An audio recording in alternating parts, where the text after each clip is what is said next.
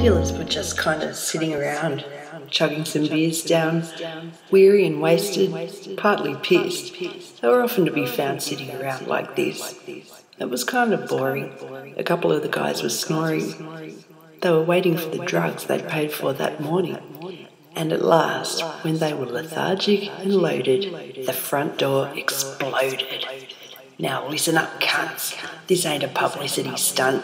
I know you've all been through the drill before. Just lie the fuck face down on the floor. Oi, you too, and the rest of your low-life crew. The dealers' hearts were rattling. They sat up with a jolt, but they may as well have been battling a rampant lightning bolt.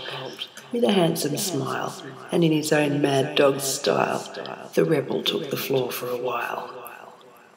Now I'm going to have me some real fun. And yes, this is a real gun. Come on, cunts, I haven't got all day. Now do exactly what the fuck I say.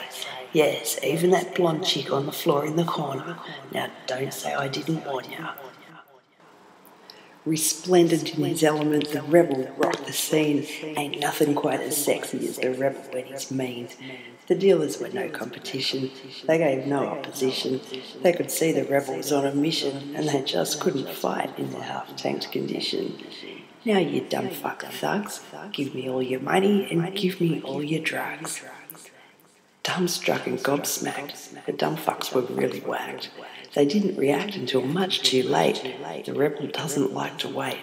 And one wound up with a gun in his face. With a swagger, but oh so deadly on the trigger, the rebel began to snigger. He was having the time of his life. This was the kind of afternoon he liked. Start talking, cunt. I know you got what I want. I'm not going to ask again. Instead, I'm just going to shoot one of your asshole friends. Shaking and quaking, the dealer began to stutter. He was really just a kid, still living with his mother. Then he spoke, mortally concerned, aware that so much was resting on his words. He gave the only answer he was able, putting all his cards on the table. We haven't got any drugs. Fast as fuck, right out of luck. The bloke was decked with the biggest slam he'd taken yet. Dropped flat on his back, crack. Skull crushed open, crack. Arm broken, crack. The rebel still joking, crack. The gun fired once. The kid was choking. Crack. He died with a grunt. Wrong answer, cunt. So, what do you think happens next, my friend? Do you think one by one they get shot in the head? The problem with knowing where this story is going is you tend to assume, as most people do, that there was only one rebel there in the room. But remember that blonde chick from before? The one in the corner sitting on the floor?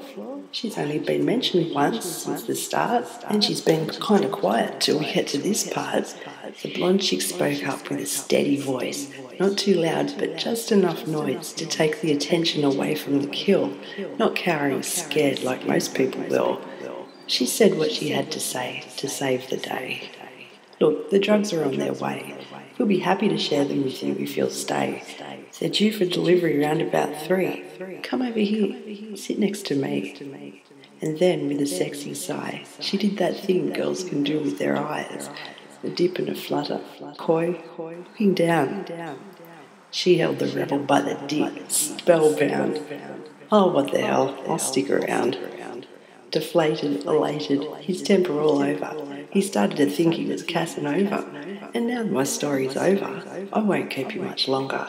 Tell me, which rebel was stronger? The mad dog who broke down the door, or the chick in the corner on the floor?